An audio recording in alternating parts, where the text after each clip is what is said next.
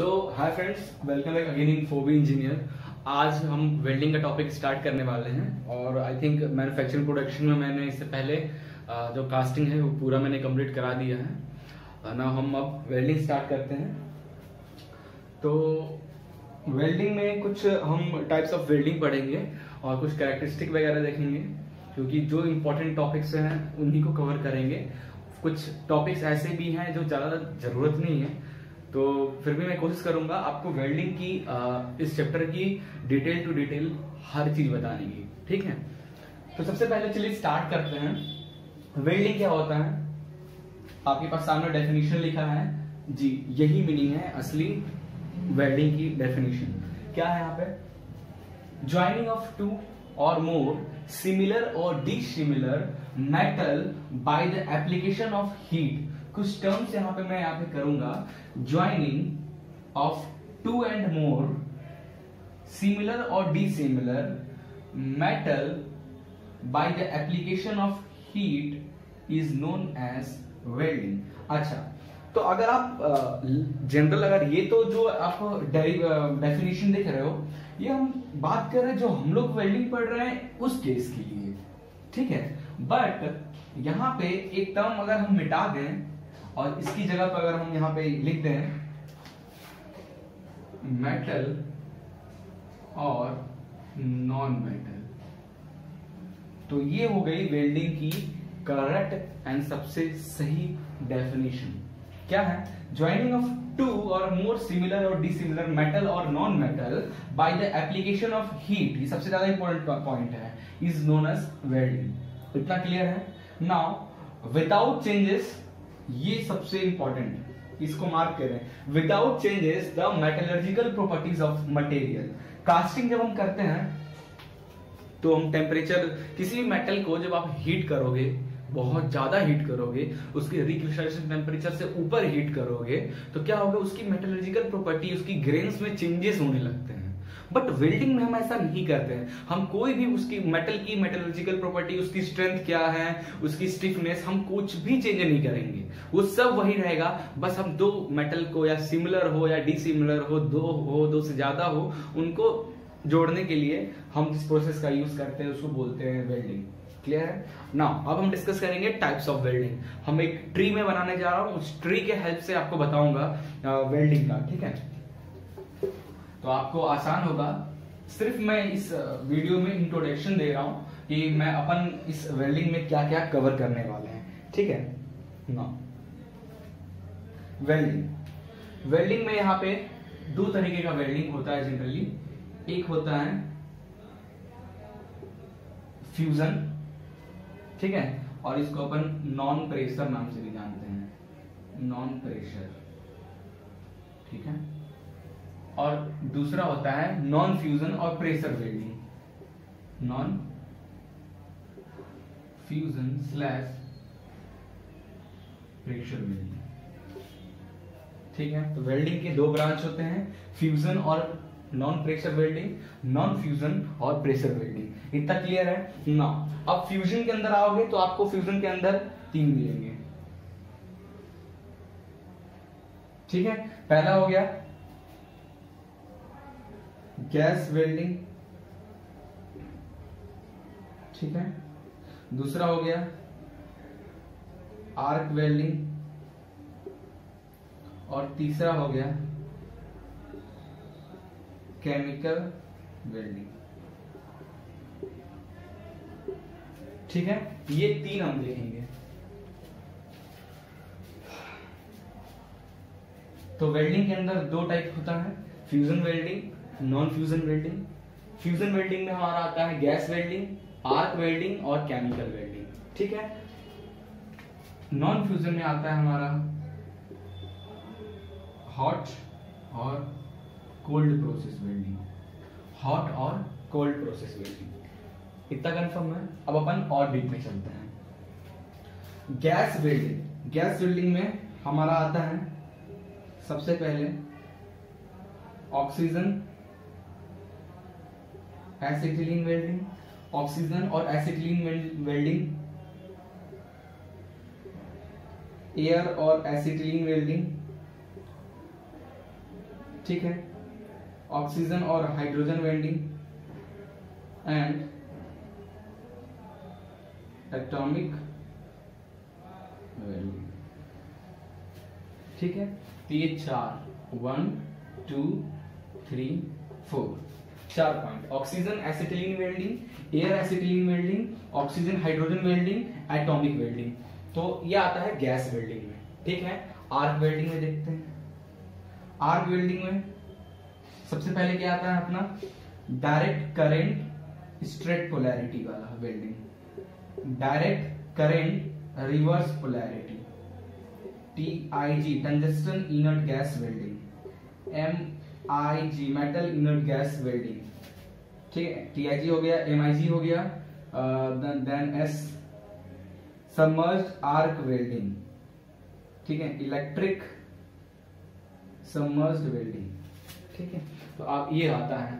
कितने टाइप के हो गए one two three four five six छह टाइप का अपना अपन पढ़ेंगे आर्क वेल्डिंग में। सबके बारे में अपन डिटेल में पढ़ेंगे, ठीक है? केमिकल वेल्डिंग में आपका एक ही आता है, जिसका नाम है thermite welding thermite thermite welding ठीक है? ना अब आते हैं अपन हॉट और कोल्ड वेल्डिंग में। कोल्ड वेल्डिंग में आपको सिर्फ़ दो ही मिलेगा, ठीक है? कोल्ड वेल्डिंग में सिर्फ़ आपका दो ही आता है। या तो कोल्ड प्रेस या तो क्रायोजोनिक स्पेलिंग क्रायोजोनिक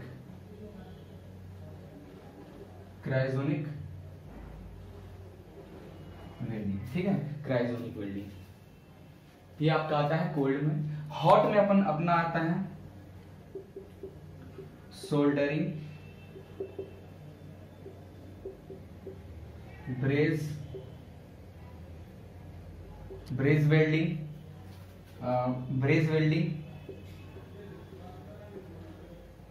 brazing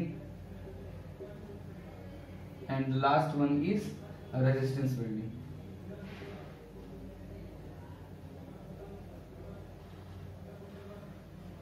ठीक है? हमारा हॉट वेल्डिंग में क्या क्या आता है? Soldering braze welding brazing resistance welding इतना क्लियर हो गया? और अब लास्ट है रेजिस्टेंस वेल्डिंग में हमारा आता है चार टाइप का। एक, दो, तीन और चार। चार टाइप का हमारा रेजिस्टेंस वेल्डिंग होता है। Spot welding seam welding projection welding and percussion welding percussion welding ठीक है? तो ये था ओवरऑल इंट्रोडक्शन वेल्डिंग का। अब हम यही वन बाय वन सबको लेकर गैस वेल्डिंग में हम ये सब पढ़ेंगे आर्क वेल्डिंग में ये सब पढ़ेंगे केमिकल वेल्डिंग में तो एक ही है, इसके बारे में पढ़ेंगे, फिर हम अपन हॉट वेल्डिंग देखेंगे। जनरली कोल्ड वेल्डिंग है एक तरीके का कोल्ड प्रेस है तो इसको भी हम डिस्कस करेंगे। तो ये सब टॉपिक हम आपको वेल्डिंग की सीरीज़ जो मैं बनाने जा रहा हूँ वीडियो सीरीज़ में ये सारे टॉपिक रहेंगे। तो फिर से एक बार बता रहा हूँ, क्या है वेल्डिंग ज्वाइनिंग ऑफ़ टू और मोर सिमिलर और डिसिमिलर मेटल या non metal by the application of heat is known as welding ठीक है? विदाउट चेंज और interchange the metallurgical property of welding ठीक है? वेल्डिंग में fusion welding non fusion welding non fusion welding में hot welding cold welding fusion में gas welding arc welding chemical welding gas welding में, oxygen acetylene welding, air acetylene welding, oxygen hydrogen welding, atomic welding. Arc welding में direct current straight polarity welding, direct current, reverse polarity tungsten inert gas welding MIG metal inert gas welding submerged arc welding electric submerged welding. Chemical welding में thermite welding hot welding में हम पढ़ेंगे soldering braze welding brazing resistance welding cold में हम पढ़ेंगे cold press और cryogenic welding now resistance welding में हम पढ़ेंगे spot welding seam welding projection welding and percussion welding तो ये सब ओवरऑल इंट्रोडक्शन था वेल्डिंग का, ठीक है? तो नेक्स्ट लेक्चर में हम स्टार्ट करते हैं वन बाय वन किसी टॉपिक को लेके, ठीक है? So thank you so guys gas welding इस लेक्चर में हम स्टार्ट करने वाले हैं सबसे पहले गैस वेल्डिंग को, ठीक है? तो गैस वेल्डिंग क्या है? सबसे पहले तो हम ये जान लेते हैं कि गैस वेल्डिंग क्या होता है। ठीक है?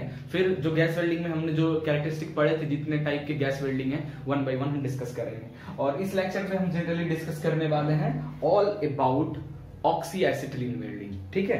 तो क्या है gas welding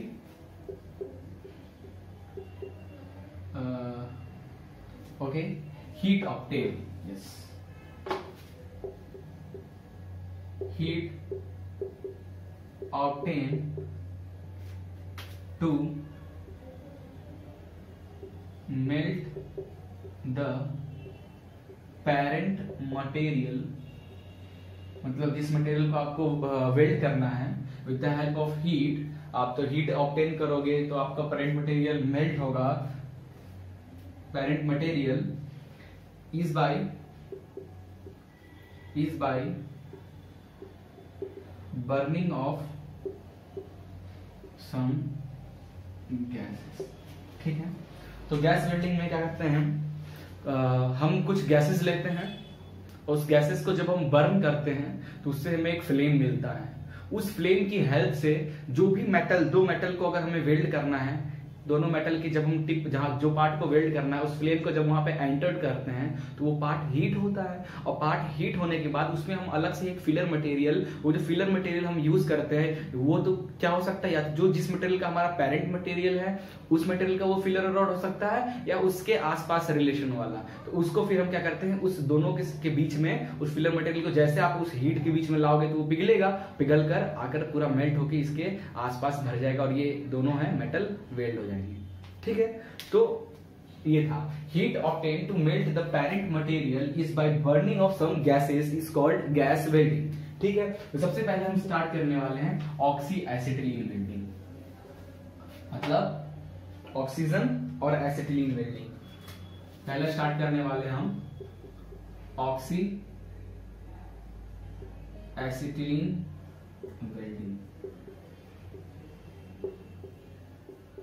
ठीक है?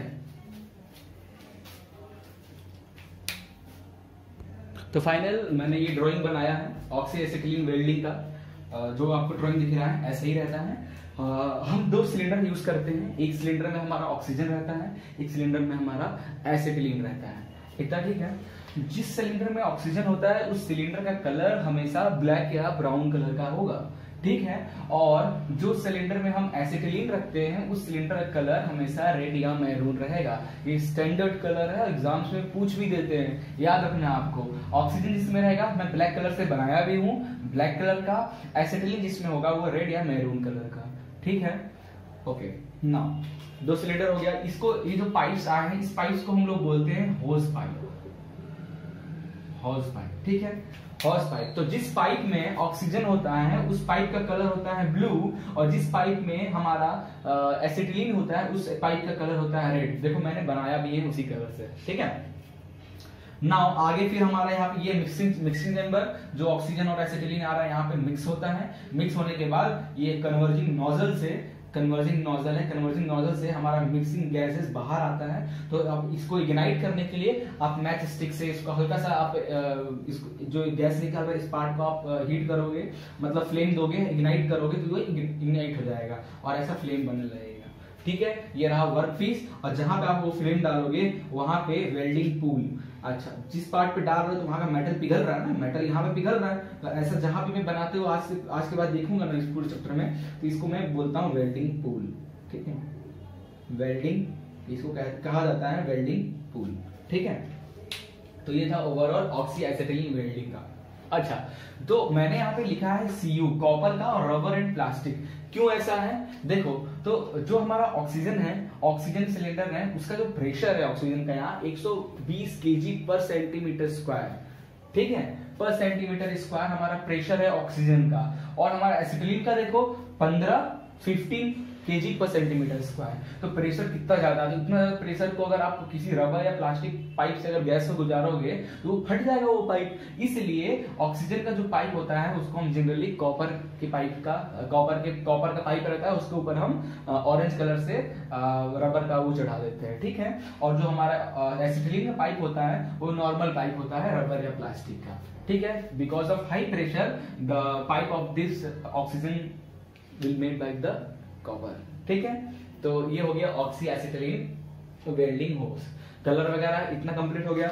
ना अब हम इसमें इसका रिएक्शन देखते हैं, ये किस, कैसे काम करता है। देखो C2 H two acetylene react with oxygen to form two CO plus hydrogen plus heat ठीक है? दिस इज़ हीट याद रखना तो जब आप एसिटिलीन को ऑक्सीजन से रिएक्ट कराओगे तो आपका two plus hydrogen plus heat निकलेगा। ठीक है? ना टू प्लस हाइड्रोजन जब रिएक्ट करता है, फिर इसी का, ये प्रोसेस ऐसे तीन पार्ट में बटा हुआ है। पहले दोनों रिएक्ट करेगा तो ये बनेगा, फिर ये दोनों रिएक्ट करेंगे तो बनेगा two CO two okay sorry this two CO निकला तो टू सीओ में ऑक्सीजन रिएक्ट जब होगा two CO two plus heat ठीक है? ना CO two hydrogen plus half amount of O two gives H two O plus heat ये इसका इक्वेशन है आपको याद रखना है। Even acetylene react with oxygen its form 2CO plus H2 and uh, extract heat मतलब ये जो रिएक्शन है एक्सोथर्मिक रिएक्शन है। ठीक है? एक्सोथर्मिक रिएक्शन है। And then two CO react with oxygen it's form two CO two plus heat and when hydrogen react with one by two O two this hydrogen react with one by two O two half of oxygen it's convert water into heat ठीक है? तो इस point की जो temperature होती है ना, ये वैसे तो क्योंकि जब वाटर ऑक्सीजन और एसिटिलीन जब रिएक्ट करता है हम देख रहे हैं यहाँ पे वाटर बन रहा है। तो इसकी जो टेम्परेचर होती है मैक्सिमम टेम्परेचर तो बहुत जाएगा बत्तीस सौ तैतीस सौ चौतीस सौ डिग्री सेल्सियस तक होता है। बट उसकी टेम्परेचर क्या होती है? कम हो जाती है बिकॉज़ जो वाटर यहाँ पे बन रहा है उस वाटर को इवापोरेट करने में वाटर को इवापोरेट कर, करने में मैक्सिमम एनर्जी यहाँ पे लॉस होती है। और जो फाइनल टेम्परेचर यहाँ का निकलता है गैस वेल्डिंग का लगभग 2500 2000 डिग्री सेल्सियस के आसपास। क्लियर है? और वही आप आर्क वेल्डिंग करते हो तो बत्तीस सौ, पैंतीस सौ, चार हज़ार डिग्री सेल्सियस तक। वहाँ पे ऐसा कुछ है नहीं कि वाटर मॉलिक्यूल को इवापोरेट करना। जितना एनर्जी है, सब आ रहा है। यहाँ पे जो रिएक्ट कर रहे हैं तो कुछ वाटर मॉलिक्यूल्स नहीं बन रहा है। उस वाटर मॉलिक्यूल्स को इवापोरेट करने के लिए lots of heat lots of energy will be lossed due to this the temperature of this flame will be down or decreases about 2000 degree और 2500 डिग्री सेल्सियस के आसपास। ठीक है? सो so, यहाँ पे एक चीज़ और ध्यान दो। देखो one molecule of oxygen one molecule of oxygen and 1.2 molecule of oxygen total 2.5 ठीक है? Two 2.5 molecule volume of oxygen तो वन ठीक है? वन यूनिट यूनिट की बात कर रहे थे मतलब वॉल्यूम ले रहे हैं। One unit of one unit volume of C two H two इनको बर्न करने में total 2.5 unit volume of oxygen लगता है। ठीक है? इस इक्वेशन तो यही समझ में आ रहा है ना? अगर हम ये one unit of oxygen one unit of oxygen one by two unit of oxygen total मिलकर होता है two point five unit of oxygen तो क्या हो रहा है इसका मतलब? कि वन और ये है एसिटिलीन वन यूनिट तो one unit of one unit volume of C two H two acetylene को बर्न करने में two point five unit volume of oxygen की रिक्वायरमेंट होती है। ठीक है? देयर फॉर आपको ये ये टर्म ठीक है? ये टर्म आपको याद रखना है। तो आपको एक टर्म और यहाँ पे ध्यान रखना है। वो टर्म ये ध्यान रखना है कि सिर्फ़ सिर्फ़ one amount one unit of oxygen जो है, इस 2.5 यूनिट वॉल्यूम ऑफ़ ऑक्सीजन में वन यूनिट ऑफ़ ऑक्सीजन सिर्फ़ सिलेंडर से आता है। ठीक है? सिर्फ़ one unit of oxygen cylinder से आपको आता है। बाकी का जो बचा हुआ 1.5 है वो एटमोस्फेयर से मिलता है। ठीक है? आपको ये भी टर्म याद रखना है। वन यूनिट ऑक्सीजन आपको सिलेंडर से ले, लेता है और जो बचा हुआ 1.5 यूनिट है वो आपको एटमोस्फेयर से क्योंकि जब यहाँ से गैस निकलता है एटमोस्फेयर से आपको मिल जाता है। ठीक है? ये टर्म हो गया। अब हम डिस्कस करते हैं इसके फ्लेम के बारे में। ये तो हो गया इसके फ्लेम के बारे में हम डिस्कस करते हैं। ठीक है। ना फ्लेम के बारे में डिस्कस करते हैं। तो हम जनरली तीन टाइप का फ्लेम यहाँ पे पढ़ने वाले हैं। ठीक है? सबसे पहले हम पढ़ेंगे neutral flame neutral flame neutral flame oxidising flame और कार्बोराइजिंग फ्लेम ये तीन फ्लेम के बारे में हम इस एसिटिल ऑक्सी एसिटिलिन टॉपिक में पढ़ेंगे। ठीक है? सबसे पहले हम न्यूट्रल फ्लेम में डिस्कस करते हैं। तो मैं अगर आपको डायग्राम बनाऊ न्यूट्रल फ्लेम का, ये हमारा नोजल है।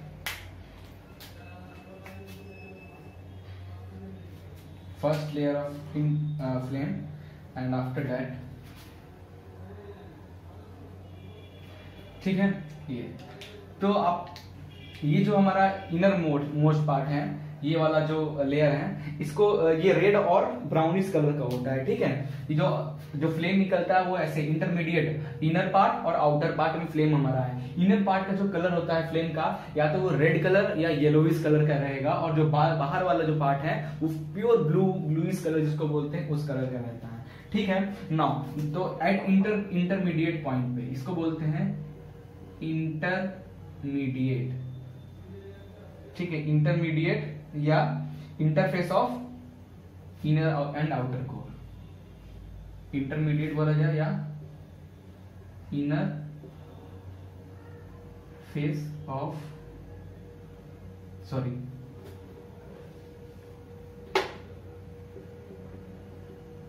interface of inner और outer core this is interface of inner and outer core तो जो टेम्परेचर है हमारा न्यूट्रल फ्लेम का ओके ये तो मैंने न्यूट्रल फ्लेम का आपको डायग्राम बता दिया। इनर पार्ट हमारा रेड और येलोइस कलर का होता है आउटर वाला जो पार्ट है वो हमारा ब्लूइस कलर का होता है। लेकिन न्यूट्रल फ्लेम मतलब क्या? सबसे पहले तो ये दिखाते इसमें देखो ऑक्सीजन जो है और जो एसिटिलीन है, इनका जो वन रेशियो वन वे रहना चाहिए। ठीक है? मतलब वन यूनिट ऑफ़ ऑक्सीजन है तो वन यूनिट ऑफ़ आपका एसिटिलीन भी जब आप पास कराओगे तो जो आपके जो फ्लेम दिखेगा, वो इस तरीके का फ्लेम मिलेगा, जिसको हम लोग बोलते हैं neutral flame one ratio one उसका रहता है। एग्ज़ाम से पूछे जाते हैं कि न्यूट्रल फ्लेम का रेशियो क्या होता है तो वन रेशियो वन ऑप्शन में आपको टिक करना है। तो इसका जो टेम्परेचर है, जो मैक्सिमम टेम्परेचर मिलता है इसे अप्रोक्सीमेट थर्टी डिग्री सेल्सियस के आसपास। थर्टी डिग्री सेल्सियस के आसपास मिलता है। बट जो एवरेज टेम्परेचर है इसका टू थाउज़ेंड टू इक्कीस डिग्री सेल्सियस। ऐसा क्यों हुआ? ऐसा क्यों हुआ? मैक्सिमम टेम्परेचर तो 3200 डिग्री सेल्सियस तक यहाँ पे मिलता है बट ये एवरेज जो हमें मिलता है, वो 2000 से twenty one thousand degree twenty one hundred degree Celsius तक क्यों मिलता है? इसका मेन रीजन है कि जो एसेटिलीन है तो एसिटिलीन जब बर्न होता है तो हमें, हमने रिएक्शन देखा था एसिटिलीन जब बर्न हो रहा था तो अमाउंट मैक्सिमम वाटर भी काफ़ी अमाउंट ऑफ़ वाटर भी वहाँ निकल रहा था। तो उस वाटर को बर्न करने में बहुत सारा अमाउंट ऑफ़ एनर्जी वहाँ लॉस हो जा रहा था। इसलिए टी मैक्स जो है बत्तीस डिग्री था और एवरेज जो है, वो हमारा इतना मिला। तो इसका मतलब क्या निकल गया था? टी एवरेज जो है that is two third of T max ठीक है? तो आपको न्यूट्रल फ्लेम का इतनी सी जानकारी रखना मेन क्या रखना न्यूट्रल फ्लेम का ratio one ratio one flame का इंटरमीडिएट टेम्परेचर हमारा मैक्सिमम इतना होता है बट एवरेज जो हमें मिलता है, आपको एकदम ये याद करके रखना है, इस न्यूट्रल फ्लेम में एक एक चीज़ ये याद करके रखना है, और ये फ्लेम के कलर ठीक है, बस इतना ही आपको न्यूट्रल फ्लेम में रखना है। अच्छा इस न्यूट्रल फ्लेम का हम यूज़ कहाँ करते हैं?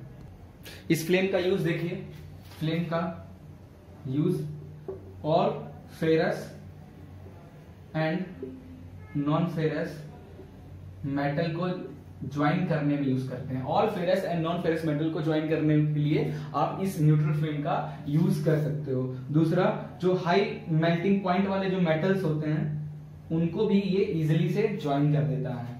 ठीक है? तीसरा इसका एवरेज टेम्परेचर चौथा, ये तीसरा पॉइंट है इसका यूज़ का एवरेज टेम्परेचर इतना हमारा रहता है तो आप इसके आसपास वाले कोई भी मेटल को ज्वाइन कर सकते हैं, क्योंकि तो इसका टेम्परेचर देखो 2000 से 2100 डिग्री सेल्सियस तक है। तो जो भी हाई मेल्टिंग पॉइंट मटेरियल है, उसको आप इजिली ज्वाइन कर सकते हो इस न्यूट्रल फ्लेम से। एक्सेप्ट अच्छा यूज़ हो गया, एक लिमिटेशन है इसका। एक्सेप्ट ब्रास ये चीज़ सबके लिए ठीक है। एक्सेप्ट ब्रास ये सिर्फ़ ब्रास को नहीं वेल्ड कर पाता है। रीजन क्या है? ब्रास किससे मिलकर बना है? कॉपर के एलॉय प्लस जिंक का एलॉय। कॉपर और जिंक के एलॉय से हमारा ब्रास बना हुआ है। कॉपर का अगर आप मेल्टिंग पॉइंट देखोगे तो 1082 डिग्री सेल्सियस और जिंक का 420 डिग्री सेल्सियस तक है। तो जब आप ब्रास को जब आप इस फ्लेम से हीट करोगे तो पहले क्या है? जिंक और कॉपर के मिक्स से ब्रास बनता है ना। तो जिंक ट्वेंटी है तो ये जिंक क्या होगा? इवापोरेट हो जाएगा, क्योंकि टेम्परेचर तो इतना ज़्यादा है। तो 420 डिग्री सेल्सियस वाला जो है, ये तो पहले ही इवापोरेट हो जाएगा। बचेगा क्या ये? ये टेम्परेचर जब 2000 टेम्परेचर इस पे लगेगा तो 420 माइनस हो गया तो लगभग 1600 मान लो 1600 डिग्री सेल्सियस आया, यहाँ पे आएगा। तो इसमें से 1000 तो 600 डिग्री सेल्सियस एक्स्ट्रा बचेगा। तो क्या हो रहा है? जिंक पहले ही इवापोरेट हो जा रहा है। तो जब जिंक आपका इवापोरेट हो जाएगा तो आपका क्या वो जो मेटल बचेगा बिल्डिंग के बाद, वो ब्रास रहेगा? क्योंकि ब्रास का कॉपर और जिंक से मिलकर बनता है जिंक तो भैया इवापोरेट हो गया इतना ज़्यादा डिग्री सेल्सियस में। तो ब्रास को हम यहाँ पे इस फ्लेम से वेल्ड नहीं करते हैं, ठीक है? ओके नाउ अब हम डिस्कस करने वाले हैं ऑक्सीडाइजिंग फ्लेम ऑक्सीडाइजिंग नाम से ही हमको पता होना चाहिए कि जब हम ऑक्सीडाइजिंग की बात कर रहे हैं मतलब ऑक्सीजन की अमाउंट ज़्यादा होगा। ऑक्सीजन का अमाउंट ज़्यादा होगा तो कितना ज़्यादा होगा? इट्स वैल्यू 1.15 टू 1.5 तक वैल्यू होगी। ठीक है? 1.15 टू 1. टू 1.5 रहेगा ऑक्सीजन की अमाउंट ठीक है? ऑक्सीडाइजिंग फ्लेम मतलब ऑक्सीजन की अमाउंट ज़्यादा होगा। एज कंपेयर टू एसिटिलीन और जो वैल्यू होगी 1.15 से 1.5 के रेंज में। ये 7 नहीं है 1.5 के रेंज में होगा। ठीक है? तो ये एग्ज़ाम में पूछा जाता है कि ऑक्सीडाइजिंग फ्लेम का जो रेशियो है, वो क्या है? ये याद रखना। है अच्छा इससे पहले मैंने डिस्कस किया था न्यूट्रल फ्लेम ठीक है? न्यूट्रल फ्लेम डिस्कस किया था। तो न्यूट्रल फ्लेम का जो इनर पार्ट जो का, जिसका लेंथ है, वो एन लेंथ था। ठीक है? न्यूट्रल फ्लेम में जो innermost part core inner core part जो था, उसका लेंथ एन तक एन एग्जांपल एन है। ठीक है? ना जब आप ऑक्सीजन ऑक्सीडेशन की यहाँ पे ऑक्सीजन की मात्रा आप बढ़ाओगे, क्योंकि ऑक्सीडाइजिंग फ्लेम में क्या हो रहा है? ऑक्सीजन ज़्यादा आ रहा है। तो ऑक्सीजन ज़्यादा होने के कारण क्या होगा? ऑक्सीजन ज़्यादा होने के कारण आपका कार्बोराइजिंग फ्लेम ये तो इतना ही रहेगा। ऑक्सीजन ज़्यादा होने के कारण जो आउटर पार्ट है, वो काफ़ी ज़्यादा मिलता है। ठीक है? तो इसका जो लेंथ होता है approximate N by two two N by three length reduce हो जाता है इसका।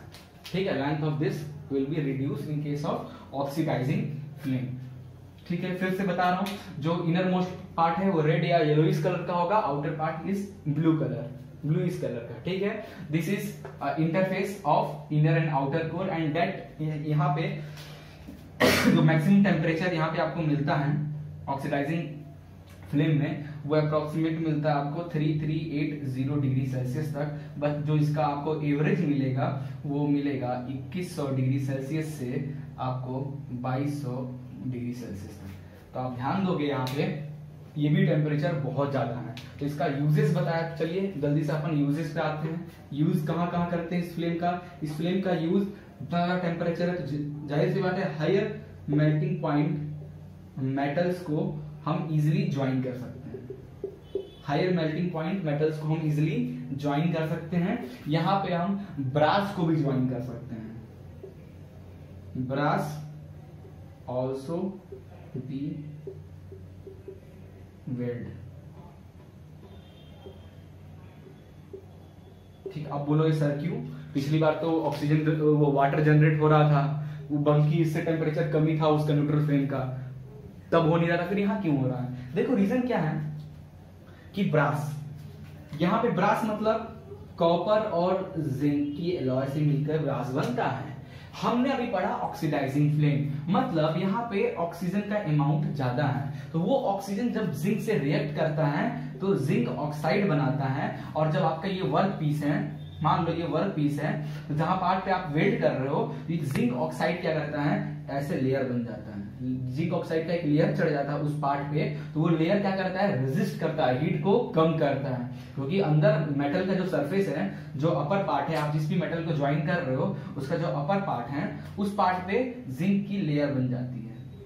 और ये लेयर हीट को रेजिस्ट करती है जिस कारण ब्रास भी आप इजिली वेल्ड कर सकते हो ऑक्सीडाइजिंग फ्लेम से। ठीक है? तो क्या करना है? नोजल में ऑक्सीजन की मात्रा ज़्यादा रखना है और एसिटिलीन की मात्रा कम रखना है। दैट्स कॉल्ड ऑक्सीडाइजिंग फ्लेम ठीक है? नाउ अब हम डिस्कस करने वाले हैं कार्बोराइजिंग फ्लेम जो कार्बोराइजिंग फ्लेम है इसमें जो इसका जो फ्लेम का आ, मैं अगर डायग्राम बनाऊँ तो कुछ इस तरीके का बनता है। ये आपका नोजल हो गया। ठीक है? इसकी जो फ्लेम बनेगी इंटरमीडिएट पार्ट जो होगा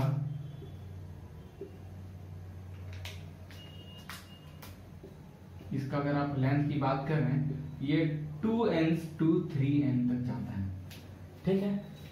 और इसका अगर मैक्सिमम टेम्परेचर की बात करते हैं, इसकी मैक्सिमम टेम्परेचर 3040 डिग्री सेल्सियस रहता है बट इसकी एवरेज की बात किया जाए तो एवरेज ये बाकी सबसे कम देता है। ठीक है? एवरेज टेम्परेचर जो है तो आपको ये याद रखना है। अच्छा आप हम कार्बोराइजिंग फ्लेम पढ़ रहे हैं। तो कार्बोराइजिंग फ्लेम में अब क्या क्या हो रहा है? यहाँ पे क्या हो रहा है? ऑक्सीजन है और एसिटिलीन भी है। यहाँ पे एसिटिलीन की मात्रा ज़्यादा होगी। कार्बोराइजिंग फ्लेम में एसिटिलीन की जो रेशियो है, वो ज़्यादा होगा एज कंपेयर टू ऑक्सीजन तो 0.85 टू 0.9 तक। ठीक है? तक रेशियो इसका ज़्यादा होगा कार्बोराइजिंग फ्लेम चलिए जो यहाँ पे इसका यूजेस है यूज़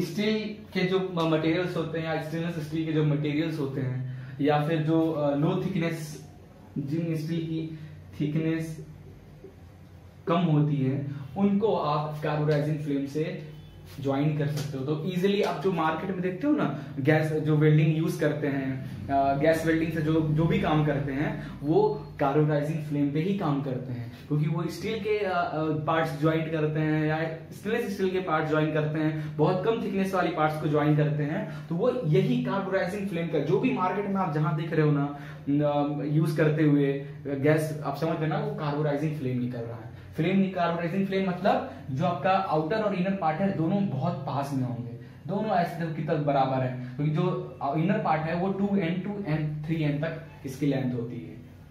ठीक है? तो स्टील के पार्ट एस एस पार्ट और लो थिकनेस वाले पार्ट जो है, उनको स्टील या एस एस का ही ज्वाइन कर सकते हैं। Except except ferrous material ferrous material को आप ज्वाइन नहीं कर सकते हो। ठीक है? क्या दिक्कत है इससे? देखो ज्वाइन तो होगा, लेकिन प्रॉब्लम क्या है? एक बहुत बड़ी, मैंने क्या वेल्डिंग का पढ़ाया था कि वेल्डिंग करो। वेल्डिंग ज्वाइनिंग ऑफ़ टू और मोर सिमिलर या डी सिमिलर मेटल या non metal with the help of heat without changing the metallurgical property of material तो फेरस मटेरियल जो है तो उसमें कार्बन की मात्रा, जैसे आयरन आयरन को आप जहाँ गैस वेल्डिंग से नहीं करते हो, आप आर्क वेल्डिंग यूज़ करते हो आयरन में कार्बन की मात्रा ऑलरेडी ज़्यादा होती है आयरन फेरस मटेरियल जिसमें कार्बन की मात्रा ज़्यादा होती है नॉन फेरस में कार्बन की मात्रा कम होती है तो फेरस मटेरियल में कार्बन वैसे ही ज़्यादा है। तो जब आयरन को आप वेल्ड करते हो गैस वेल्डिंग से तो कार्बन की मात्रा इतना ज़्यादा है, और हमें पता है कार्बोडाइजिंग फ़िल्म में एसिटिलीन ज़्यादा है तो क्या होता है? एसिटिलीन ज़्यादा मतलब कार्बन भी ज़्यादा है। कार्बन तो ये कार्बन क्या होता है? जब आयरन में आप और कार्बन ऐड करोगे तो जो ज्वाइंट बनेंगे ये दो मेटल हैं। इनके जो ज्वाइंट ये जो जो वेल्डिंग पॉइंट जो बनेंगे, ये ब्रिटलनेस हो जाएँगे ये हमें पता है कि जिस मेटल में जितना ज़्यादा कार्बन की अमाउंट बढ़ कार्बन की अमाउंट बढ़ेगी, वो मटेरियल उतना ब्रिटलनेस हो जाएगा तो हल्का सा कहीं गिरा, ये वेल्ड क्रैक हो जाएगा। इसलिए हम आयरन में गैस वेल्डिंग का यूज़ नहीं करते हैं। एसएस क्या होता है? स्टेनलेस स्टील अब बोलोगे, सर स्टेनलेस स्टील में कार्बन इसमें भी कार्बन का मात्रा रहता है। ऐसी बात नहीं है। इसमें भी कार्बन है। इसमें भी बस आयरन के कंपेयर में तो कम है ना कार्बन अब ये एसिटिलीन जब ये कार्बन देता है तो ये कार्बन कितना इतना मतलब अगर ये टेन है, ठीक है, इसमें अगर ये फ्लेम आप डालोगे तो ये फिफ्टीन बन जाएगा। ये बहुत ज़्यादा होता है। इसमें वन या 1.2 अमाउंट ऑफ़ कार्बन है, और अगर डालोगे तो ज़्यादा से ज़्यादा कितना बढ़ेगा? टू होगा या थ्री कार्बन होगा। इतना सफिशियंट है, इसलिए आप इस मटेरियल को इजिली ज्वाइन कर सकते हो। ये था हमारा ओवरऑल तीन फ्लेम तो ओवरऑल हमने तीनों फ्लेम के बारे में डिस्कस कर लिया। Oxidising so hi friends welcome again in Phoebe engineer तो गैस वेल्डिंग का टॉपिक हम पढ़ रहे थे। तो इससे पहले हमने देखा कि gas uh, welding uh uh, कितने टाइप के uh, सबसे पहले हमने डिस्कस किया एक्चुअली ऑक्सीएसिटिलीन गैस फिर हम फ्लेम के बारे में पढ़े। ना अब हम पढ़ने वाले हैं वेल्डिंग टेक्निक गैस वेल्डिंग में वेल्डिंग टेक्निक्स हम देखने वाले हैं ठीक है? तो जनरली दो टाइप का टेक्निक यहाँ पे हम पढ़ते हैं ठीक है? एक होता है हमारा forehead, welding techniques,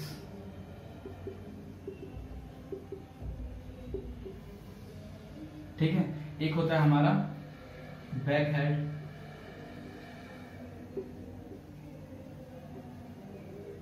welding techniques तो फोर हेड और बैक हेड वेल्डिंग टेक्निक्स हम यहाँ पे देखने वाले हैं। क्या होता है? फोर हेड वेल्डिंग टेक्निक्स और क्या होता है हमारा? बैक हेड वेल्डिंग टेक्निक्स ठीक है? आइए देखते हैं। इसका मैं दोनों का ड्राइंग बनाऊँ। मैं ड्राइंग बना लेता हूँ जल्दी से। तो ये मैंने बना लिया गैस वेल्डिंग के वेल्डिंग टेक्निक्स के diagrams forehand welding techniques and backhand welding techniques देखो फोर हेड वेल्डिंग ये हमारा वर्क पीस है। ये वर्क पीस है। ये जो पार्ट है, ये जो मैंने हैक्स करके दिखाया है, ये वेल्डेड पोर्शन है, जिसको हमें वेल्ड करना है, और जहाँ पे वेल्ड हो रहा है, ये भी हमारा, ठीक है? डिफरेंस क्या है? फोर हेड वेल्डिंग टेक्निक्स में हम क्या करते हैं? हम जो अपना टॉर्च है टॉर्च ये हमारा वेल्डेड पोर्शन तो ये है। हम वेल्डेड पोर्शन की ओर नहीं करते हम वेल्डेड जिधर वेल्ड करना है, उधर की ओर हम टर्च ना ले जाके उसके अपोजिट डायरेक्शन में टॉर्च को हम मूव करते हैं। मतलब अगर मुझे इधर वेल्ड करना है तो टॉर्च को मैं यहाँ इधर की ओर ले जाऊँगा। इधर वेल्ड करना है, ठीक है weld direction this is weld direction तो मैं अपने टॉर्च को इधर की ओर ले जाऊँगा। ऐसे ऐसे ले जाऊँगा, उधर पीछे वेल्ड होता जाएगा। क्लियर है? तो ये होता है फोर हेड वेल्डिंग टेक्निक यहाँ पे जिधर आपको वेल्डिंग करनी है, अपनी टॉर्च को उधर की ओर ही मूव करना पड़ेगा। टॉर्च को वेल्डिंग के डायरेक्शन में ही मूव करना पड़ेगा। तो उसे कहते हैं बैक हेड वेल्डिंग टेक्निक ठीक है? चलिए, मैं लिखता हूँ। यहाँ पे जो टॉर्च है, उसको किधर मूव करना होगा? Towards non welding towards non welding side towards non welding portion towards non welding portion की तरफ़ आपको अपनी टॉर्च को मूव करना होगा और इधर देखोगे, इधर टुवर्ड्स वेल्डिंग पोर्शन इधर आपको टुवर्ड्स वेल्डिंग पोर्शन की तरफ़ अपने टॉर्च को मूव करना होगा। अगला अगला लाइन लिखता हूँ। अच्छा अब ध्यान दो। यहाँ पे क्या करना जिधर आपको वेल्ड करना है आप उधर की ओर टॉर्च ले रहे हो तो ये पार्ट आपका वेल्ड होता जा रहा है। क्लियर है? बट आप यहाँ देखोगे तो यहाँ जब आप करो यहाँ जो वेल्डिंग पूल बनेगा, जो पार्ट हीट होगा, ये पार्ट ऐसा बनेगा। ये पार्ट हीट होगा। इस पार्ट को हीट होने से तो जी यहाँ का जो, क्या है? जो मेटल मेल्ट होगा, वो क्या होगा? स्पार्क होके पीछे की ओर आएगा। क्योंकि आप इस डायरेक्शन में टॉर्च रखे हो, और किधर मूव कर रहे हो? Towards non welding portion welding portion ये नॉन वेल्डिंग पोर्शन की तरफ़ जा रहे हो तो जहाँ पे आप पुट कर रहे हो तो क्या होगा, यहाँ पे जो मोल्टेन मेटल है, वो पूरा मेटल पहले तो पिघलेगा, और फिर क्या होगा, वहाँ से स्पार्क होके पीछे की ओर आके ऐसा ऐसा इकट्ठा होने लगेगा, और पीछे वेल्ड होता जाएगा। आगे बढ़ते जाओगे वेल्ड पुल ऐसा बनता जाएगा, और पीछे की ओर वेल्ड होता जाएगा। तो जो इसका सरफेस है, ये सरफेस जो है non uniform surface non uniform surface generate होता है in case of forehand welding torch में। ठीक है? बिकॉज़ ये तो क्योंकि आप यहाँ का क्या कर रहे हो? ये प्री हीटिंग जोन हो गया यहाँ पे प्री हीट मेटल क्या कर रहे हो? जो वेल्डेड एरिया है वेल्ड तो बाद में हो रहा है पहले इधर का जो एरिया है इधर के एरिया को आप क्या कर रहे हो? प्री हीट करते जा रहे हो। अब प्री हीट होते जा रहा है और जो मोल्टेन मेटल है वो स्पार्क होके पीछे ऐसे वेल्ड होते जा रहा है। तो ये जो सरफेस बनेगा नॉन यूनिफॉर्म सरफेस ठीक है? और यहाँ पे क्या कर रहे हैं, जो वेल्डेड सेक्शन है, उधर की ओर हम इसको टॉर्च को मूव करते हैं। तो ये जो टेक्निक है, इसको हम पोस्ट हीटिंग भी बोलते हैं। यहाँ पहले ही हीट हो जा रहा है, फिर वेल्ड हो रहा है, यहाँ पे वेल्ड है, उसके ऊपर फिर टॉर्च चला रहा है पोस्ट हीटिंग पोस्ट हीटिंग क्यों करते हैं? In case of heat treatment जब हमें कुछ अमाउंट ऑफ़ कुछ प्रॉपर्टीज़ ऐड करनी होती है मटेरियल्स में तब हम ये बैकहेड वेल्डिंग टेक्निक का यूज़ करते हैं। ठीक है?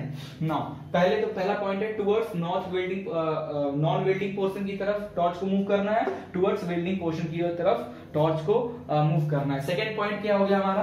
That is pre heating and post heating ये हो गया सेकेंड पॉइंट ठीक है? Pre heating and post heating अगला है नॉन यूनिफॉर्म सरफेस क्रिएट होता है third point non uniform non uniform slag slag surface weld surface पे आता है। Non uniform slag weld surface पे बनता है। यहाँ पे आपका यूनिफॉर्म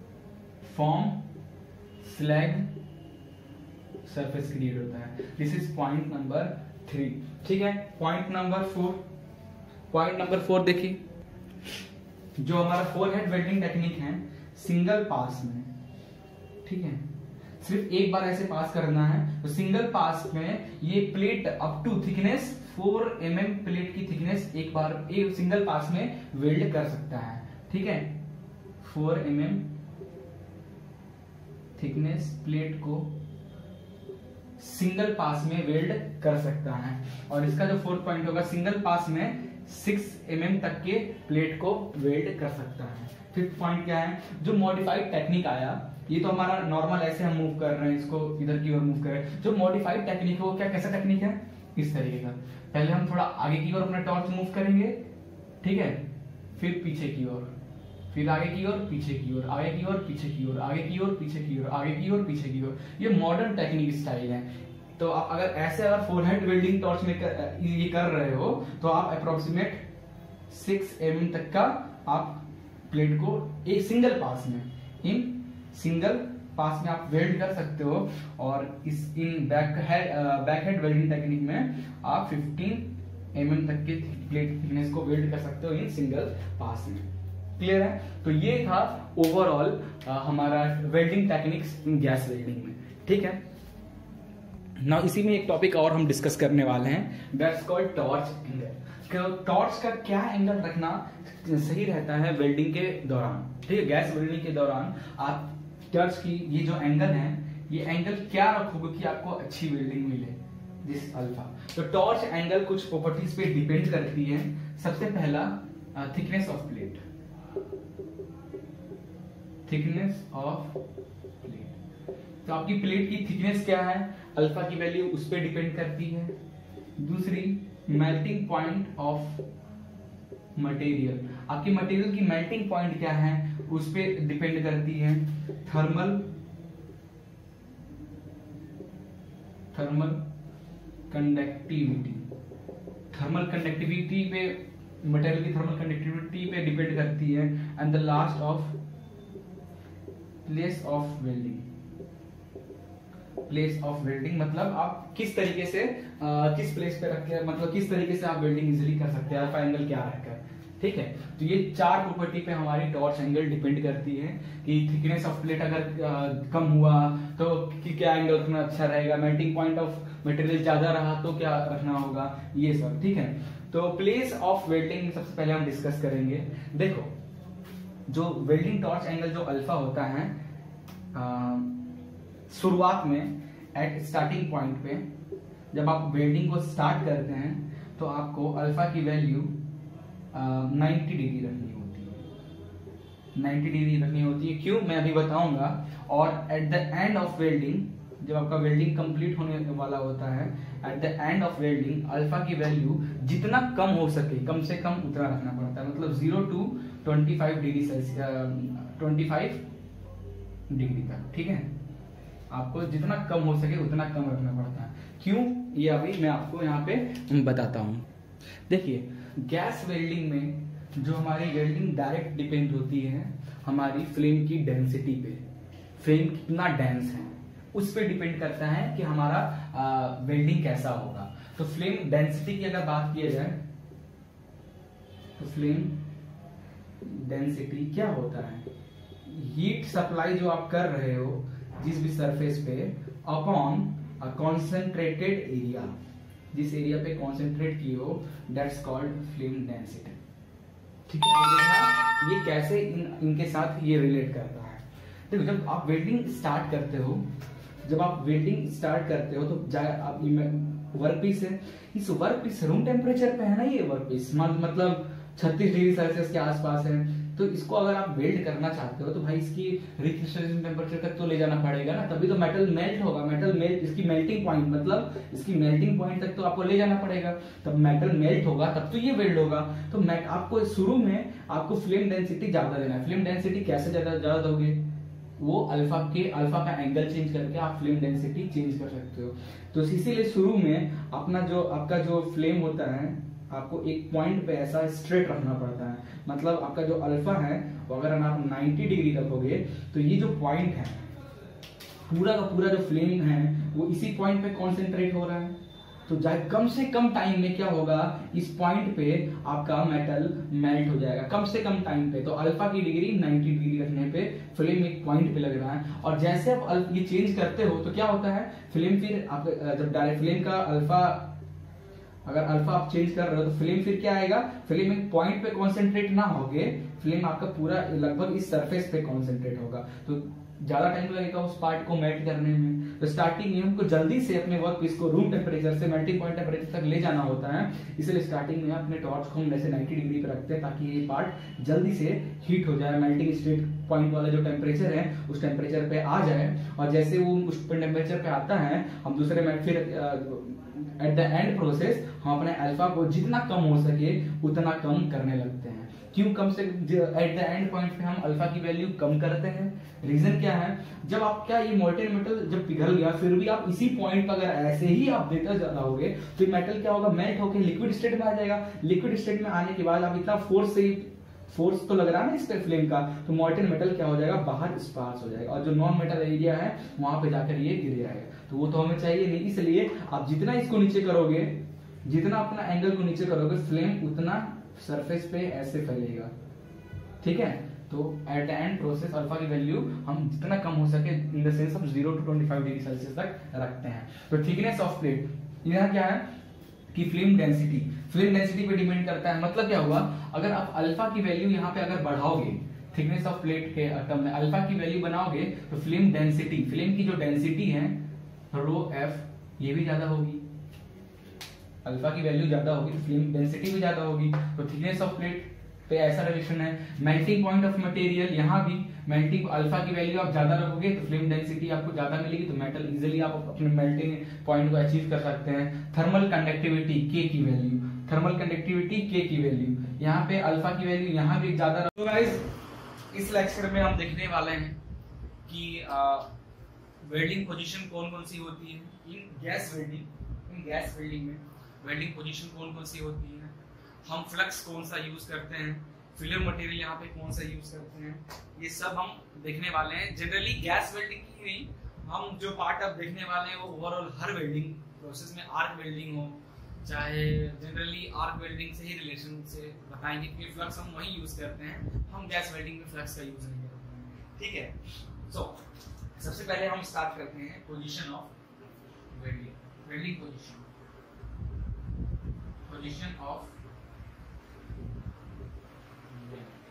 कौन कौन से पोजीशन होते हैं वेल्डिंग का? सबसे पहला होता है अपना फ्लैट या हॉरिजेंटल पोजीशन वेल्डिंग दूसरा होता है वर्टिकल तीसरा होता है हॉरिजॉन्टल और चौथा होता है हमारा overhead overhead overhead overhead welding ठीक है? ये है overall position of welding flat जो नॉर्मल आपका कोई ऐसा प्लेट रखा हुआ है, ठीक है? उसको ऐसे ऐसे वेल्ड वेल्ड करना है ना? नॉर्मल ये फ्लैट वेल्डिंग इसको बोलते हैं फ्लैट पोजीशन ज़मीन पे ऐसे रखा हुआ है आपका मेटल और शीट वगैरह हो गया शीट जैसे हो गया. शीट को जो वेल्ड करते जनरली फ्लैट सरफेस को वेल्ड करना। तो उसको जो वो पोजीशन इस पोजीशन का आप वेल्ड करते हो उसको हम कहते हैं फ्लैट और हॉरिजॉन्टल वेल्डिंग वर्टिकल वेल्डिंग क्या हो गया? ऐसा कोई मेटल ऐसा है, ठीक है? वर्टिकल प्लेन पे है। मतलब इस प्लेन पे ऐसा है और आपको वेल्ड करना है, ठीक है? फॉर एग्जांपल ये बोर्ड को हाफ़ पार्ट में बांट बांट दो, इस पार्ट को वेल्ड करना है तो ये जो पोजीशन है हमारा, ऐसे वेल्ड करने का। ये हमारा सीट ग्लास हो गया और ऐसे वेल्ड करने का, ठीक है? ये हो गया vertical welding now horizontal welding देखते हैं। हॉरिजॉन्टल वेल्डिंग क्या? यही प्लेट को आप ऐसे रख दो और इसको आप वेल्ड कर दो horizontal horizontal welding overhead welding overhead मतलब होता है ना, अपने सर से ऊपर वेल्डिंग ये बंदा वेल्डिंग करना है इस सीलिंग को। ये पार्ट को वेल्ड करना है। कैसे वेल्ड करेगा? टॉर्च लेगा। पकड़ कर ऐसे वेल्ड करेगा ना, ऊपर की ओर वेल्ड इसको बोलते हैं up above the head is called overhead welding तो ये था overall welding position now flux के बारे में डिस्कस करते हैं। फ्लक्स जनरल जो फ्लक्स क्या है, सबसे पहले ये देखते हैं फ्लक्स की प्रॉपर्टी क्या होनी चाहिए। यदि हम देखेंगे यहाँ पे। ओके फ्लक्स फ्लक्स क्या है? जनरली हम बोरेक्स नाम का बोरेक्स नाम का फ्लक्स यूज़ करते हैं। आपका जो इलेक्ट्रोड होता है ना इलेक्ट्रोड इलेक्ट्रोड के ऊपर जो कोटिंग रहता है, ठीक है आर्क वेल्डिंग में जो आपका इलेक्ट्रोड होता है, इसके ऊपर जो कोटिंग है, इसी को आप कहते हैं फ्लक्स जनरली ये बोरेक्स होता है, ठीक है। कुछ प्रॉपर्टीज़ होने फ्लक्स की प्रॉपर्टी को होना चाहिए। पहला property to deoxide to deoxide the milk second property to form to form a slag as a blanket over a melt pool ठीक है तो ब्लैंक आपका वर्क पीस हो गया। तो आप जब वेल्ड करते हो तो आपका वर्क पीस का जो मोल्टेन मेटल है, ये जो आपका वेल्डिंग पूल है मोल्टेन मेटल पिघलने लगता है। तो इसके ऊपर क्या करता है फ्लक्स क्या करता है, इसके ऊपर ब्लैंकेट की तरह एक लेयर बना लेता है, ताकि जो भी फालतू का जो एटमॉस्फेरिक एयर है डेंजरस एटमॉस्फेरिक गैसेस वगैरह है, वो यहाँ पे आके एंट्रैक्ट ना हो जाए। अगर वो एंट्रैक्ट हो गया तो आपकी वेल्डिंग कमज़ोर हो जाएगी। तो आप अगर वेल्डिंग कर रहे हो तो आप चाहोगे कि आपके जो भी कोई भी इसमें बबल्स कोई भी पिन होल जैसा, कोई भी गैसेस अफेक्ट आपको ना मिले। अदरवाइज़ आपकी वेल्डिंग कमज़ोर हो जाएगी। तो आप चाहोगे तो क्या होता है, जो वेल्डिंग पूल है, उसके ऊपर आपका जो फ्लक्स है एज अ ब्लैंकेट की तरह उसको ढक लेता है। ठीक है? तीसरा क्या है फ्लक्स का काम? To absorb the unwanted unwanted gases unwanted gases which present in the ठीक है? तो ड्यूरिंग वेल्डिंग जो भी अनवांटेड गैस अगर आसपास आ रहा है तो उसको क्या करता है? फ्लक्स एब्जॉर्ब कर लेता है। उसको मोल्टेन मेटल की ओर नहीं जाने देता है। फोर्थ कैरेक्टरिस्टिक ऑफ़ फ्लक्स क्या है हमारा? Uh, should not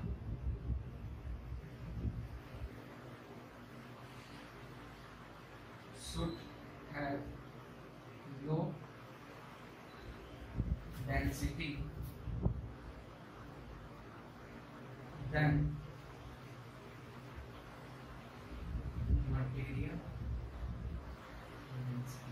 जो जिस मटेरियल जिस मटेरियल पे आप वेल्डिंग कर रहे हो, वो मटेरियल की जो भी डेंसिटी होगी, जो फ्लक्स की डेंसिटी है फ्लक्स की डेंसिटी जो है, हमेशा कम होना चाहिए आप जो भी मटेरियल का वेल्डिंग कर रहे हो। अदरवाइज़ जब उसकी डेंसिटी कम होगी, तभी तो मॉल्टेन मेटल के ऊपर रहेगा।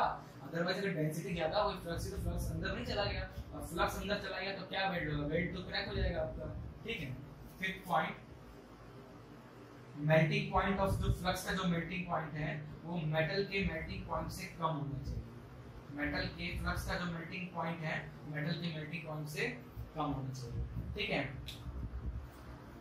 और सिक्स है। Material have low viscosity flux का जो मटेरियल है, उसकी विस्कोसिटी जो है, वो लो होनी चाहिए। तो ये ओवरऑल फ्लक्स की कुछ कैरेक्टरिस्टिक है. मेन है it de the metal deoxide the metals to form slag और as a blanket over the metal pool to absorb the unwanted gas during the welding और should have low density as compare to the density of work piece and should have a low melting point as compare to parents material ठीक है? और it should have low viscosity ठीक है? Flux की ये general property है और general जो हम बोरेक्स का यूज़ करते हैं। अच्छा हम फ्लक्स का use aluminium yes nickel alloy या आपका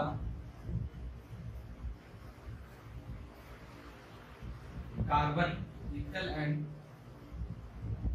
कार्बन एलॉय वाले जो मटेरियल होते हैं।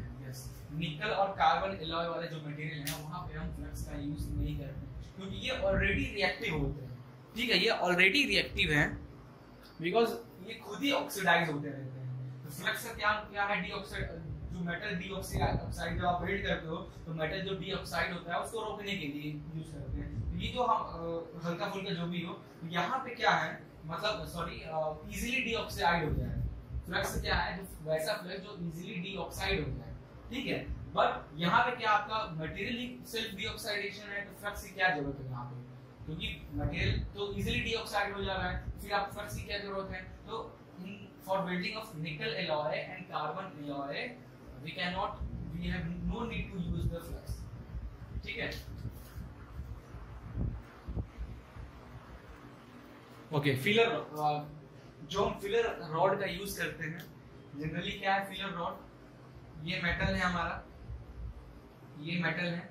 इस दोनों मेटल को जब ये वर्क पीस समझ लीजिए वर्क पीस और ये वर्क पीस है इनको अगर हमें वेल्ड करना है with the help of flame flame के हेल्प करना है, ठीक है? ये मैंने फ्लेम इस पे ऐड किया, इस पॉइंट को। तो ये पॉइंट हीट हुआ, ठीक है? क्या हुआ? ये पार्ट हीट हो रहा है। तो हीट होने के बाद हम क्या करते हैं? इसमें एक फिलर रॉड फिलर रॉड को जैसे इसमें लगाते हैं फिलर रॉड पिघलता जाता है और यहाँ पे आकर इकट्ठा हो जाता है और ये दोनों मेटल को ज्वाइन कर देता है। ये होता है फिलर रॉड ठीक है? तो फिलर रॉड जनरली कुछ पॉइंट्स है, याद रखना। अगर थिकनेस प्लेट की थिकनेस अगर फाइव एम mm से कम है फाइव एम mm से जो जो मेटल वर्क पीस का जो थिकनेस है, अगर कम है तो आपको नो नीड फिलर ठीक है? फिलर रॉड का आप यूज़ मत करो सिंपली आप हीट करो उसको पार्ट को, वो ऑटोमेटिक क्योंकि मेटल पिघलेगा, इन दोनों का आपस में जाके मिलकर ये खुद ही हीट हो जाएँगे। If the work piece thickness is less than 5 mm ठीक है? और अच्छा तो वो उस प्रोसेस को क्या बोलते हैं? पुडिंग पुडलिंग पुडलिंग ऑपरेशन बोलते हैं। ठीक है, आपको याद रखना है। Puddling operation.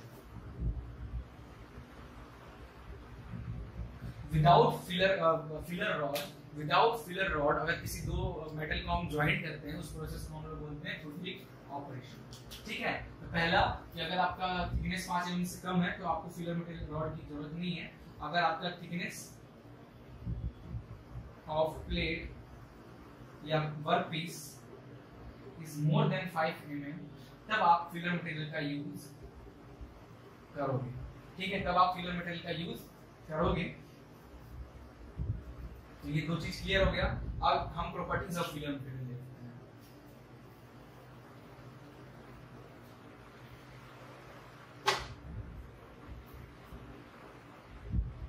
properties of filler filler material की प्रॉपर्टीज़ क्या क्या होनी चाहिए? सबसे पहला melting point of filler material should be same as parent material ठीक है? जो मेल्टिंग पॉइंट है, आपके फिलर रॉड का, वो अप्रोक्सीमेट सेम होना चाहिए आपका किसका? आपके जो पेरेंट मटेरियल आप यूज़ कर रहे हो। ठीक है? Density of filler material should be same as a parent material density should be same ठीक है? Viscosity viscosity also be viscosity of filler material should be same as the parent material. And चौथा point एक चीज़ और add करूँगा। जो filler material है, वो जनरली कौन सा? सिमिलर या dissimilar approximate approx similar filler material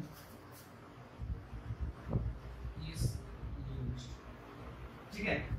जो भी आप पेरेंट मटेरियल जो भी आप वर्क जो भी दो मटेरियल का आप वेल्ड कर रहे होगे तो जिस मटेरियल का होगा, या तो उसी मटेरियल का आप अपना फिलर रॉड यूज़ करो, या तो अप्रोक्सीमेट उस प्रॉपर्टी को फॉलो करता हुआ कोई फिलर रॉड है, आप वो यूज़ कर सकते हो। ठीक है?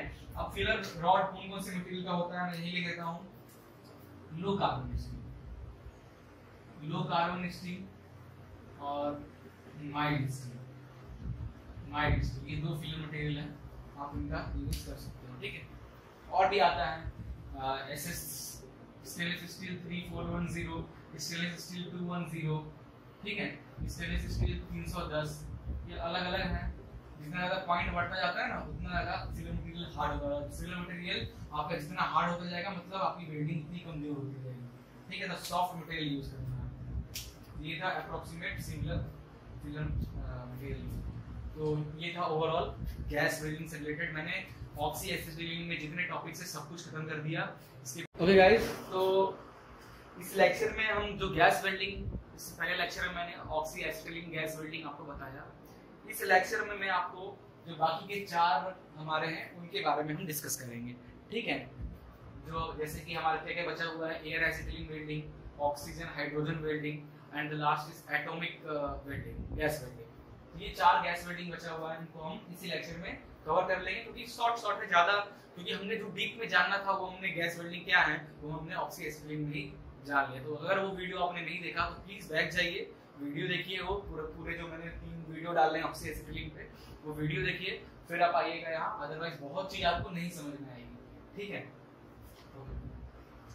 तो एयर एसिटिलीन वेल्डिंग में क्या हुआ? क्या मतलब हुआ? हम एसिटिलीन का C2H2 का सिलेंडर लेंगे। हमारा एक नोजल होगा, ठीक है? यहाँ पे मिक्सिंग होगा, ठीक है?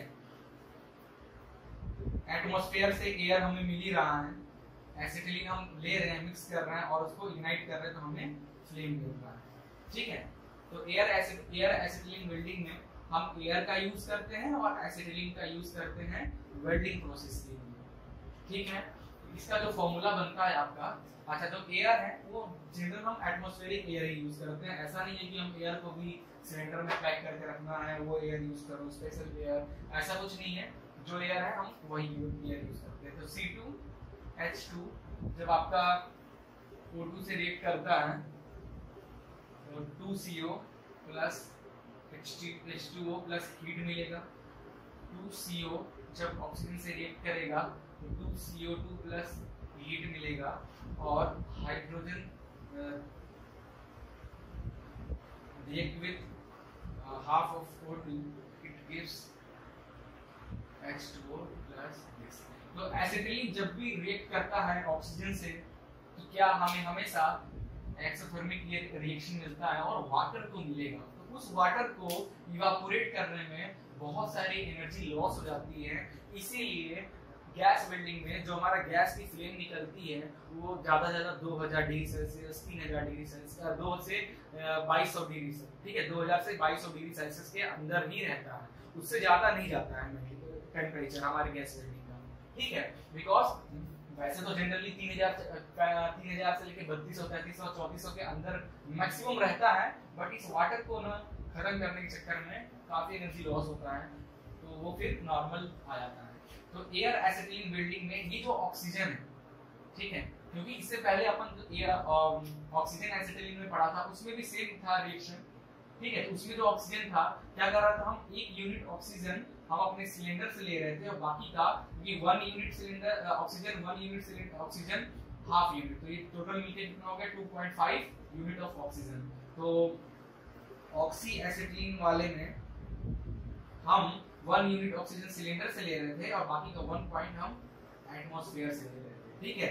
बट यहाँ पे एयर एसिटिलीन वाला जो हम प्रोसेस यूज़ कर रहे हैं, यहाँ पे पूरा, ठीक है all unit oxygen taken from atmosphere पूरा जो ऑक्सीजन है हम एटमोस्फेयर से ही लेंगे, पूरा ऑक्सीजन तो इस टाइप के प्रोसेस इस टाइप के वेल्डिंग प्रोसेस को हम कहते हैं एयर एसिटिलीन वेल्डिंग सिस्टम ठीक है? ना इसका जो एवरेज टेम्परेचर होता है, कुछ पॉइंट्स यहाँ पे लिखते हैं। सबसे पहले ये टेक्निक का यूज़ कहा this welding is used for low melting point metals. जो लो मेल्टिंग पॉइंट्स मेटल होते हैं, वहाँ पे हम इस टेक्निक ये एयर और एसिडिक वेल्डिंग का यूज़ करते हैं। दूसरा है example low melting point metals low melting point metal मतलब एग्जांपल जिंक हो गया, ठीक है? टिन हो गया लीड हो गया ये ठीक है?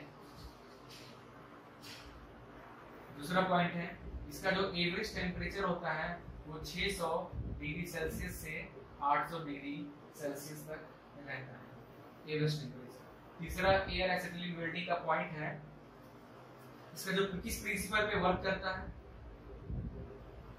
इस प्रिंसिपल पे? जो बुलसेन बर्नर जो बुलसेन बर्नर हमारा होता है जो अपना एलपीजी एलपीजी एलपीजी गैस जिससे घर में यूज़ करते हो ना, आप गैस चालू करते हो तो जो बर्नर से से गैस निकलता है, फिर आप इग्नाइट करते हो लाइटर से सेम प्रोसेस है। यहाँ भी हम बुलसेन बर्नर का यूज़ करते हैं, इसको इग्नाइट करने के लिए। ठीक है? ये हो गया। ठीक है। तो ये था हमारा overall air acetylene welding process next हम डिस्कस करेंगे ऑक्सीजन हाइड्रोजन वेल्डिंग ठीक है? ऑक्सीजन हाइड्रोजन वेल्डिंग हम डिस्कस करेंगे।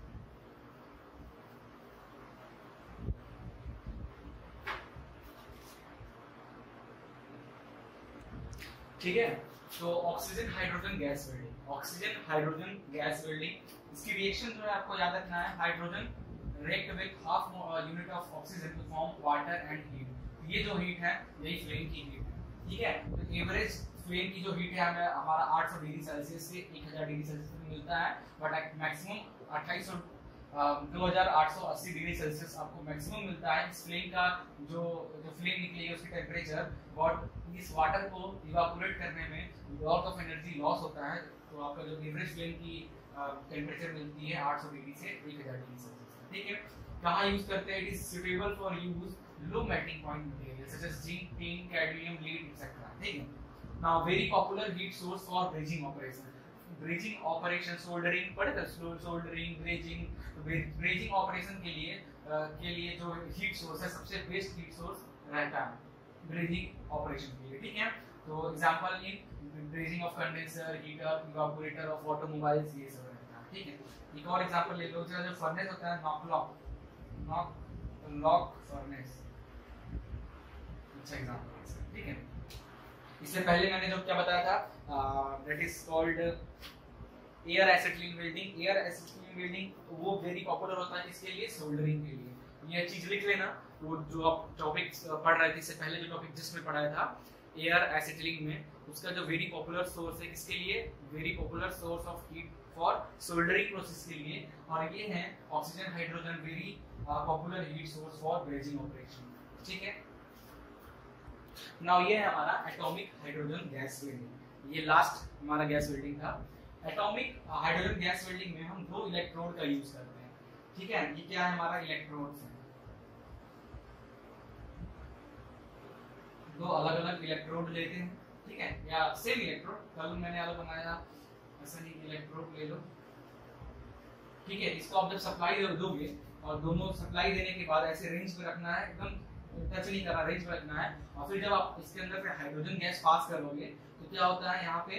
आपका स्पार्क मिलता है। बहुत हाई अमाउंट ऑफ़ स्पार्क मिलता है। उस स्पार्क से ये जो एटॉमिक हाइड्रोजन है, ठीक है, ये जो एच टू है मॉलिक्यूलर हाइड्रोजन है, ये क्या होता है? बिखर कर यहाँ पे एटॉमिक छोटे छोटे अलग अलग हाइड्रोजन बन जाता है। दिस मोलिकुलर हाइड्रोजन यहाँ पे हाई अमाउंट ऑफ़ करेंट के कारण स्पार्क बनता है। स्पार्क के कारण this molecule hydrogen convert into this atomic hydrogen ठीक है? और यहाँ पे हाइड्रोजन का ये लेयर बना देता है ताकि कोई एटमोस्फेरिक गैसेस अंदर की ओर ना आ पाए।